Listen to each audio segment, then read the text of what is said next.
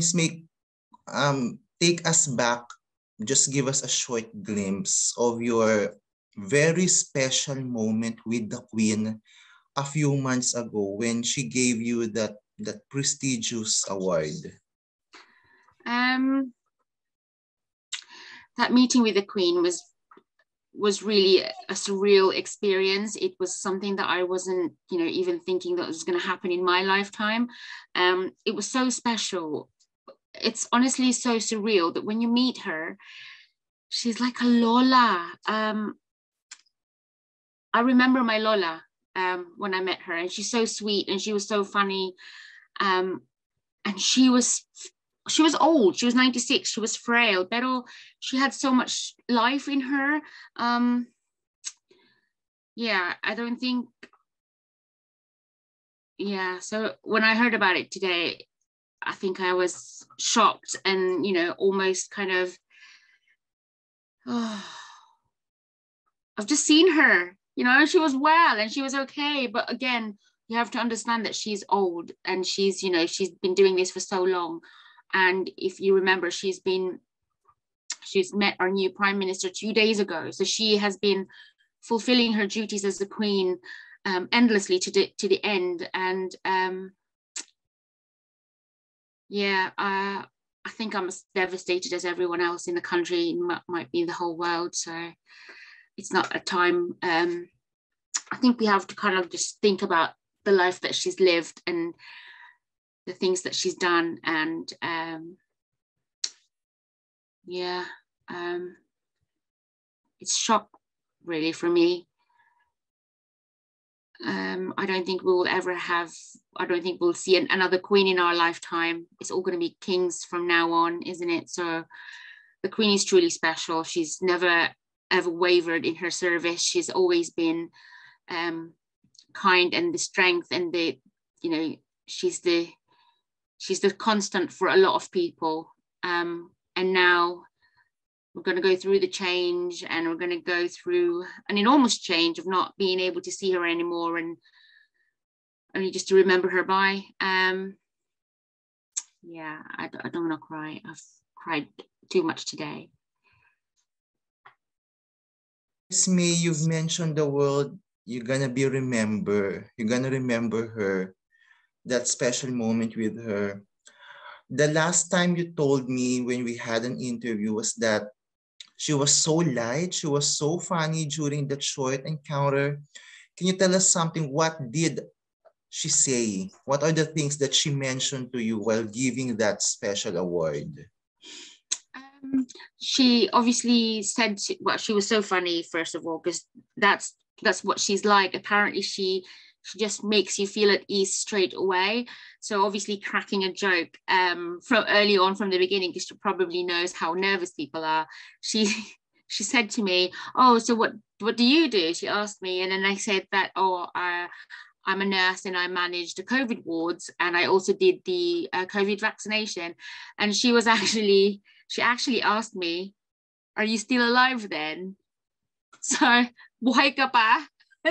So because syempre namin kung ano, di I dealt with COVID and the vaccination. So she was obviously trying to crack a joke. And I was so taken aback. I was like, and then she repeated it again because I didn't quite get it because I wasn't expecting that joke. And then she said, and then we all laughed and she repeated herself and it's yeah, yeah. And you know, I I am still alive and you know we're plodding on. And i said how terribly proud i was of the covid vaccination rollout and how successful it was and how it was welcomed by everyone. And she commended it and she said how amazing it was and how millions of lives were saved which i agreed. And when we were sitting down for the official photographs after she'd spoken to all of us uh, in the room um, she told us not to look glum in the photos when we sat down. And so Sabina, in the Queen's order, she was like, don't look so glum in the photos. So we were all giggling because she's so funny. So that's the one of the things that you wouldn't expect from a queen to say to you, but she did. And so it's to kind of make you feel at ease and welcomed and and that's why you kind of feel this warmth of affinity towards her because she's I don't know if it, if cute is relevant to her, and I think it's a more of um, you feel you kind of want to hug her in in in in love because she's she's so nice and she's so welcoming and she's she's you know she she really wants to make you feel at home or at least comfortable. Um yeah i i I think we're all feeling a terrible loss. And that moment in time that I spent with her, you know, I was telling her about how grateful we are as um, a nurse and a healthcare workforce for for the um, recognition for the award and the fact that she's actually welcomed us um, in her home and that you know to present us with it. Because obviously that day we weren't actually expecting it from her. She we wouldn't we weren't sure whether she was going to be the one giving us the medal um, obviously charles was doing 100 people's uh, investiture that day so uh, we only found out kind of half an hour before that she was actually going to do the, the, uh, the award. So for me, that says a lot about dedication. That's that means a lot about service. That means a lot about um, you know your responsibility and to honor the the the the reward. It's almost like I want to give it to you personally because I just feel truly um, truly grateful for the bravery of the workforce in, in NHS and she presented it herself and even though that's the first one that she's done in, in you know for the first two years since COVID that's the first um, uh, things that she's done personal um, event that she's done. So we felt kind of we felt really special. You know how when people kind of hold you dear and when they they make you feel special. And that's what she did with us. And I think that's what she did with a lot of people.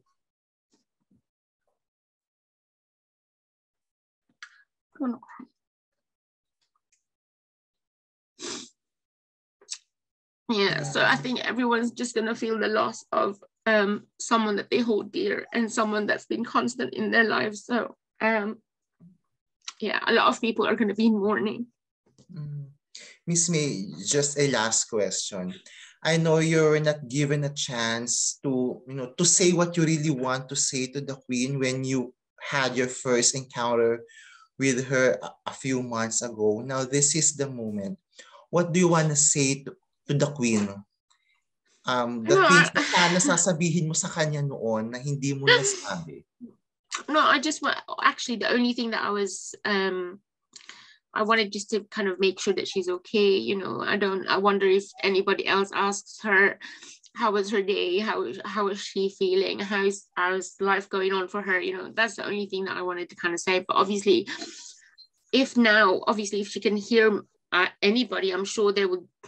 One of the things I'll probably say is, you know, thank you for for being constant um through all the trials and the tribulation that the nation has gone through, she's always there to um, gather the people around her and give her them their strength. And you know, and I think a lot of people respect her for that, and a lot of people love her for that. Um, and I just want to say thank you for for all those things that she's done, not just for the UK but across the world in the Commonwealth. And and she can now rest I mean, she's been working since two days before she passed away. So I suppose now she can rest. And she's probably nursing a broken heart from losing Philip as well, not too long ago. So, um, yeah, she can now rest in peace in God's grace. So.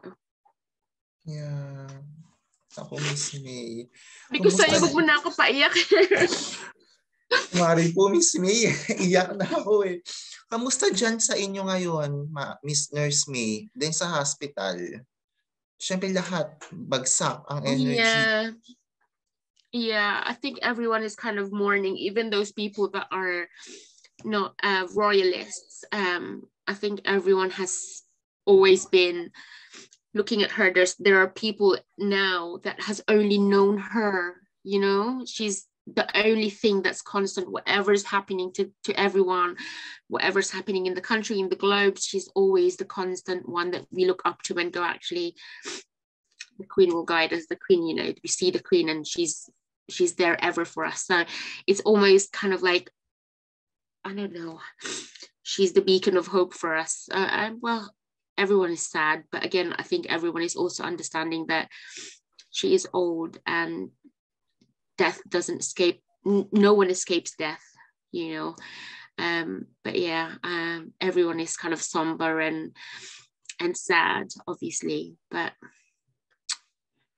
that's life. we will yeah it everyone will be grieving in the next you know few days and thinking and remembering all the jobs and all the work good work that she's done. Um yeah i think after the jubilee as well seeing her so happy. Um yeah it's it's a time for change and i don't think it's ever going to be quite the same the elizabethan era is finished so yeah yeah Thank you so much, Nurse May, for your time again and again for this exclusive interview.